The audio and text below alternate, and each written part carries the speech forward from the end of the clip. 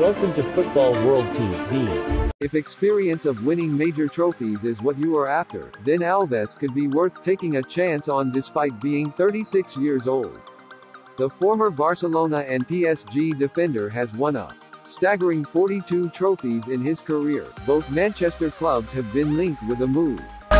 He is a player to get fans off their seats with his maverick dribbling style, as was seen during his up and down spell with Newcastle.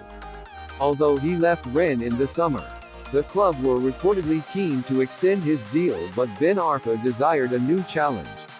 Will he end up back in the Premier League?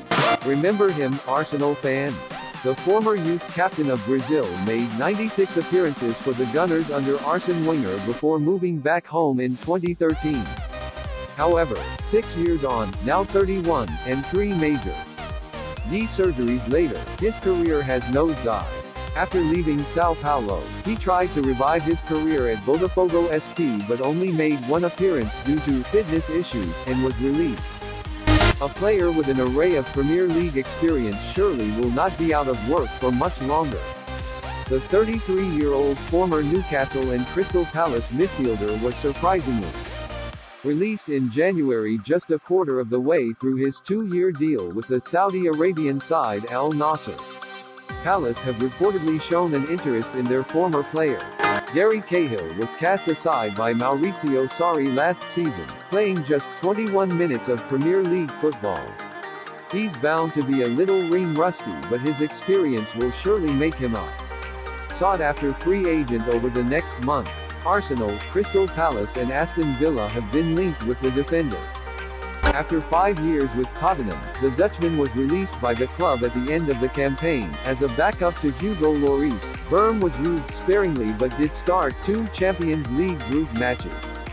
Last year for the eventual runners-up, Andrew Robertson proved a revelation for Liverpool last season and Moreno felt the effect as he became clear second choice in the fullback area for Jurgen Klopp. A move back to La Liga seems likely with Sevilla and Villarreal reportedly weighing up moves but Arsenal are rumored to be interested.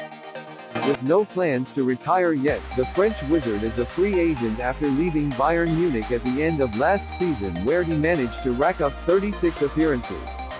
Here we have a player with 81 caps for his country and 22 major titles to his name.